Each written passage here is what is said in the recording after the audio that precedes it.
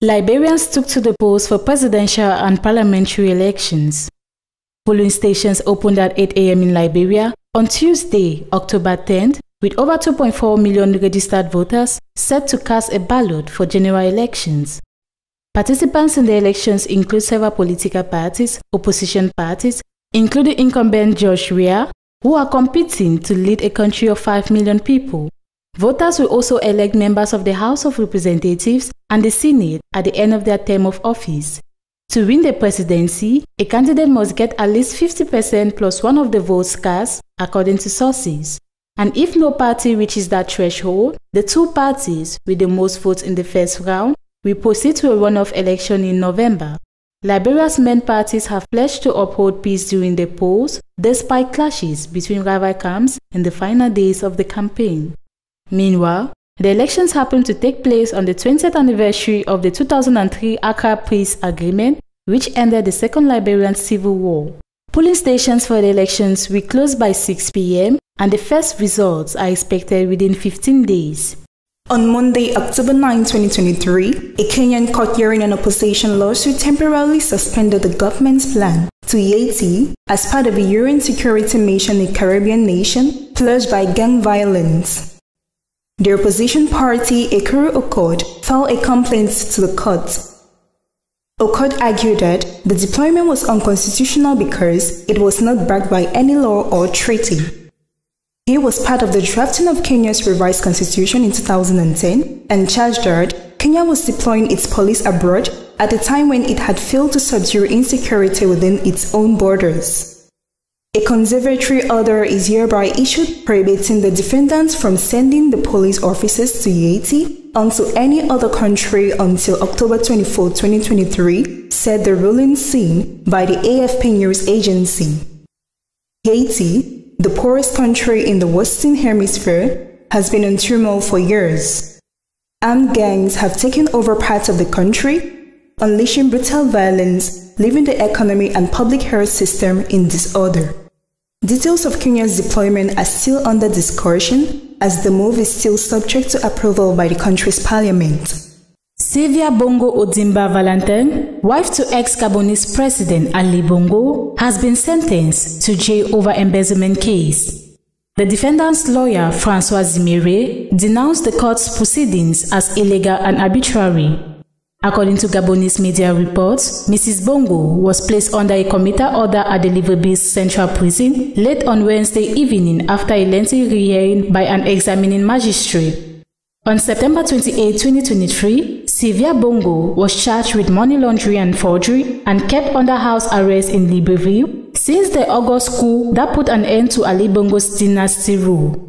The military accused the former head of state and his entourage of having falsified the results of the elections and accused the former first lady and her son, Noureddin Bongo Valentin, of manipulating Ali Bongo, who was not fully recovered from a serious stroke in 2018.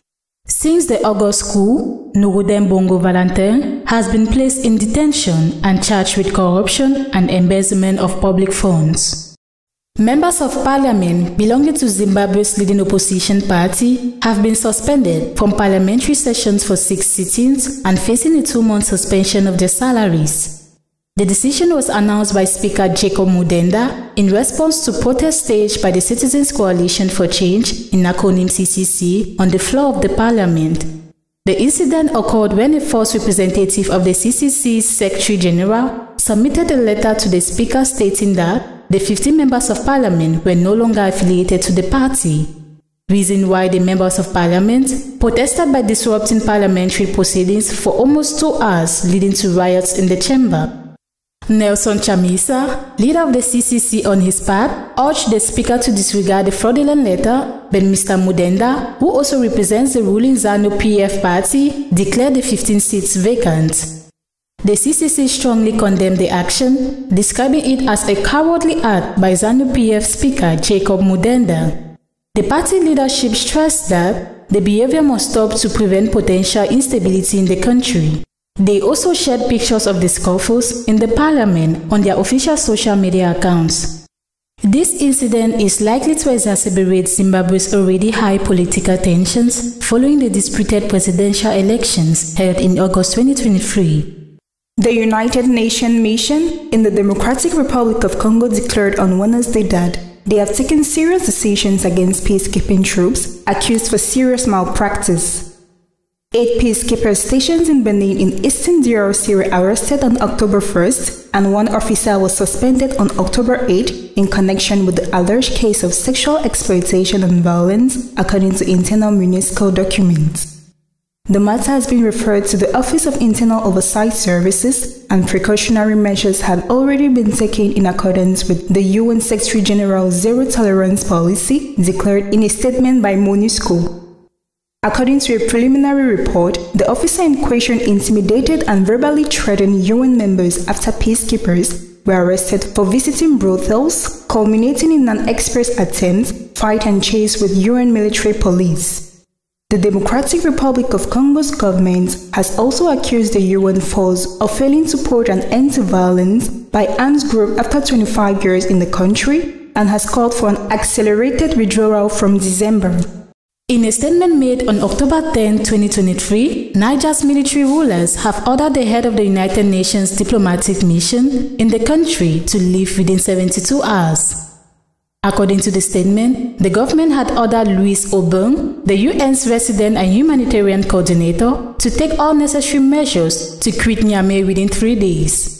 Madame Louise Aubin is being accused of using obstacles to stop the West African nation from fully participating in last month's UN General Assembly. During the 78th session of the UN General Assembly, a representative of Niger, who was initially set to take the floor, did not do so. According to a diplomatic source, the organization had received two competing requests to address the assembly, with one from the military rulers and the other from the overthrown government.